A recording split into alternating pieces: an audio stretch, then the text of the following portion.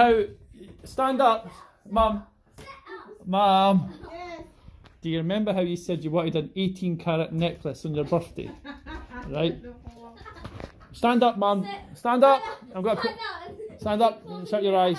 Me and Haley's chipped in, by the way. It's cost me all my fucking money. Right? Let me see. Oh my god. Mum, remember how you said on your birthday you wanted an 18 carat necklace? Go. Look, there's one that looks like a willy. Mum's got an 18 carat necklace.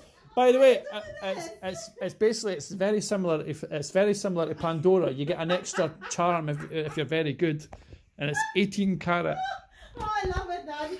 It's a be- It's beautiful. You take it on holiday with you. I love the color. It's gold. I can afford an 18 carat necklace.